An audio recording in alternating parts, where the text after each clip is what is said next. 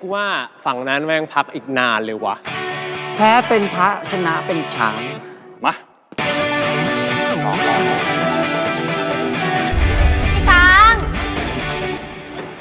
ซ้อมเสร็จยัง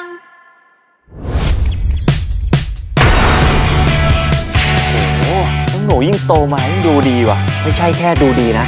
โคตรน่ารักเลยอะผมขอจีบน้องสาวเพื่อนพี่ได้ปะไม่ได้เว้ยเพื่อนกูมันยกให้กูดูแลแล้ว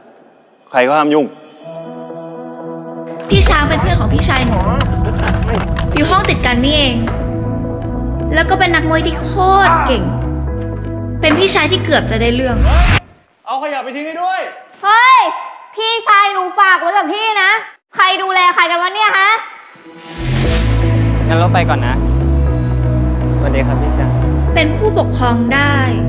บางครั้ง อย่างให้หนูได้หมด ยกเว้น เป็นแฟนหนู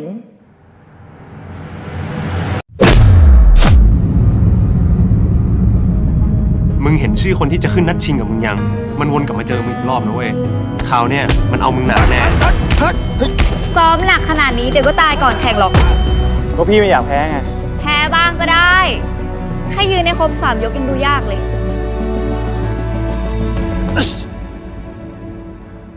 งั้นถ้าพี่ชนะแมตช์หน้าได้อะหนูจะยอมมาเป็นแฟนพี่ปะล่ะ นี่พี่จะจีบหนูจริงๆเหรอโอ้ยมวยเจ็บกว่านี้อีก ต่อไปพี่จะไปส่งเราที่โรงเรียนเองไม่ใช่ได้ ไม่ต้องเลยไปมามานี่เลยมานี่สวัสดีครับพี่ช้าง เห็นหนูพูดถึงพี่ให้ฟังอยู่บ่อยก็แน่อยู่แล้ว อยู่ด้วยกันก็ต้องสนิทกันอยู่แล้วว่าแต่เราเชื่ออะไรนะ ไม่เคยเห็นน้องหนูพูดถึงเลย